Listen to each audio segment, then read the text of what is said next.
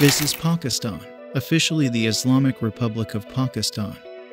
Is a country in South Asia. It is the world's fifth most populous country, with almost 227 million, and has the world's second largest Muslim population. Since its birth in 1947, Pakistan has lived in constant turmoil, despite being conceived as a democracy.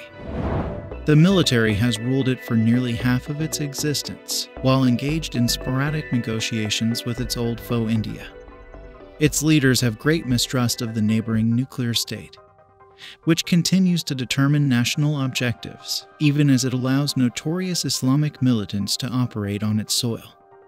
Pakistan is both a fragile state and a modernizing society. The economy of Pakistan is the 47th largest worldwide in terms of nominal gross domestic product, with $347 billion and a nominal GDP per capita of $1,255, which stands at 181st worldwide. Pakistan's Human Development Index is one of the lowest in Asia, after Yemen and Afghanistan. Wealth distribution in Pakistan is slightly varied with the top 10% of the population earning 28.4% and the bottom 50% earning only 11.6% of the income. Pakistan's economy, like an airplane, has crashed 13 times in the last 60 years, each time requiring an International Monetary Fund bailout. It wasn't always so. During the 1970s, Pakistan's GDP per capita was richer than India, China, and Bangladesh but in 1979, China took over Pakistan. Today, Pakistan is the poorest. Its most recent gross domestic product growth estimate was only 3.9%, barely sufficient to keep pace with population growth. And Pakistan's federal government is nearly bankrupt. So, how did Pakistan's economy end up here? On August 14, 1947, Pakistan got its independence from British Indian Empire and separated from India. Pakistan is divided into two areas based on Muslim majorities. West Pakistan and East Pakistan, and these borders left most economic centers like Delhi, Bombay, and Calcutta within India, leaving the future Pakistan at an economic disadvantage. However, Pakistan's economic growth rate averaged 5% annually which was achieved by very few countries in 1947. At that time, agriculture was the main occupation of Pakistan's 30 million people, contributing 53% of GDP and 99% of exports. Ayub Khan, the first military dictator of Pakistan, assumed complete control of the state in October 1958 with the help of Harvard advisors.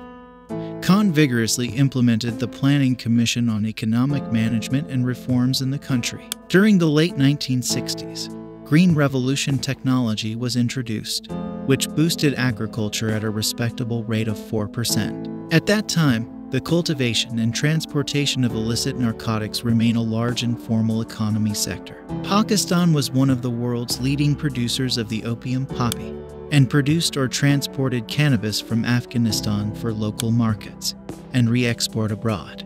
The manufacturing sector also expanded by 9% annually, and various new industries were set up. By 1969, Pakistan's manufactured exports were higher than the exports of Thailand. Malaysia and Indonesia combined GDP growth in this decade jumped to an average annual rate of 6.7% from 5% in the 1950s. Poverty incidence declined, and GDP per capita increased. However, the growing interregional economic disparity between East and West Pakistan led to a civil war, which ended in the emergence of the independent state of Bangladesh in 1971. The breakup of Pakistan had a traumatic effect on the national psyche and negated the very concept upon which a model developing Pakistan was founded. However, East Pakistan benefited from Ayub's economic reforms. To outsiders, Pakistan was a model developing economy to emulate, but domestically there was a total rejection of this economic model. In the chaos of 1971, Zulfikar Ali Bhutto took advantage of the resentment against Ayub's economic policies and promised to restore the principles of distributive justice and equity to the forefront of Pakistan's development strategy under the slogan of Islamic socialism. Bhutto's populist policies of nationalizing all the sectors hit the Pakistan economy so severely that the East Asian countries that were lagging behind Pakistan in growth and economic indicators in the late 1960s not only overtook it, but also became huge success stories. The oil price shock of the 1970s, as well as droughts and floods, crippled the Pakistan economy.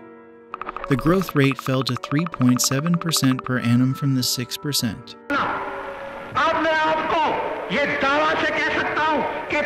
The Bhutto government came to power. Social justice proved extremely weak.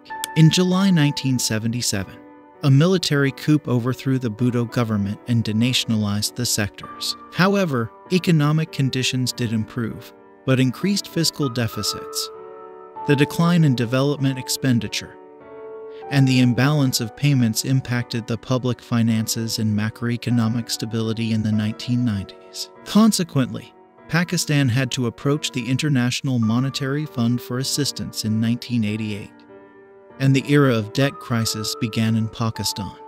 Since 1947, Pakistan has had 22 prime ministers, and none of them has ever completed a full term. They either resigned, they were terminated, they finished a term they didn't start, or they were assassinated.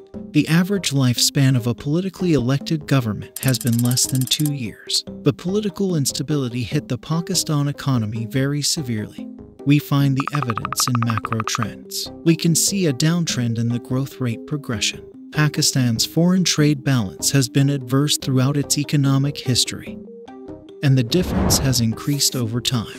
Due to overregulation, controls and restrictions of all kinds on the private sector hit the business and hit the foreign investment throughout the history. And the obsession of Kashmir led Pakistan to spend more money on the military than on education.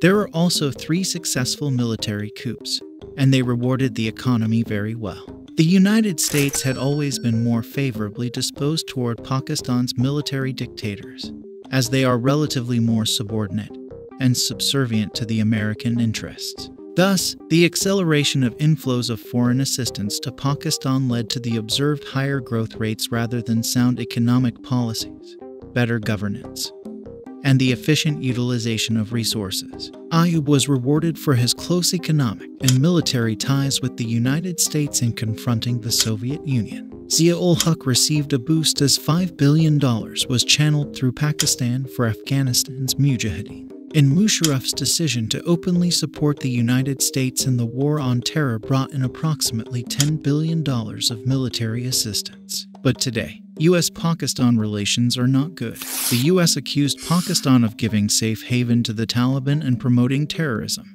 on January 1, 2018. Donald Trump again criticized Pakistan, saying, They have given us nothing but lies and deceit. President Trump also announced canceling a $300 million disbursement to Pakistan, citing its failure to take decisive actions against Afghan Taliban militants and their safe havens in Pakistan. On the other hand, Pakistan has maintained an extremely close and supportive special relationship with China, the $62 billion worth of China.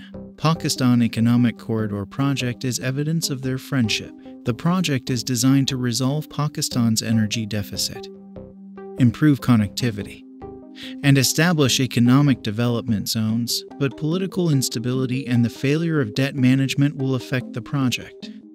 When Imran Khan, the former cricket player whose political party won Pakistan's disputed election in 2008, everyone thought he would fix the Bhutto and Sharif dynasties' blunder who are accused of being corrupted and responsible for the debt crisis. Accountability शुरू होगी मेरे से, फिर होगी मेरे वजीरों से, फिर हम नीचे जाएंगे. But Imran Khan also failed in his anti-corruption agenda and mismanagement of the economy, and became more corrupted than the previous government. Today, Pakistan's economy is facing debt crisis, energy crisis, balance of payments crisis, and inflation at the same time. The country has always paid a heavy price in the aftermath of non democratic regimes in the form of severe economic disruptions, policy reversals, complete breakdowns of institutions, and a lack of accountability. The name Pakistan means land of purity. They need a pure leader who dares to act above self interest and religious hatred and perform with more accountability. For the sake of Pakistan's children, that day should come soon.